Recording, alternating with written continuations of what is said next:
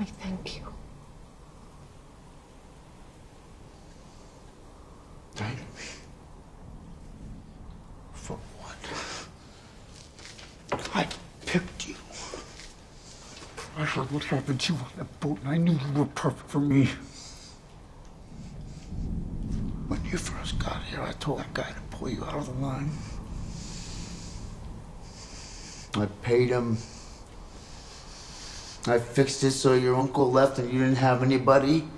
And yeah, I fell in love with you, Ewa, but it couldn't stop me from using you like I did all the others.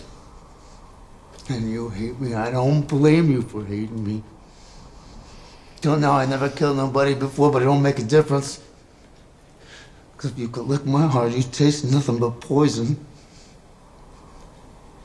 See, you think there's goodness in everybody,